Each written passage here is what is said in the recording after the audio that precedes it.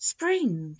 The travelling man has been here, Here in the glen he must have passed by In the grey of the dawn, When only the robin and wren were awake, Watching out with their bright little eyes. In the midst of the brake the rabbits maybe heard him pass, Stepping light on the grass, Whistling careless and gay at the break o' the day.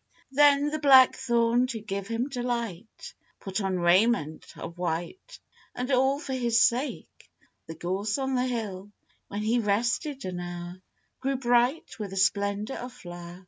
My grief that I was not aware Of himself being there It is I would have given my dower To have seen him set forth, Whistling careless and gay, in the grey of the morn, By gorse, bush and thorn and thorn, On his way to the North.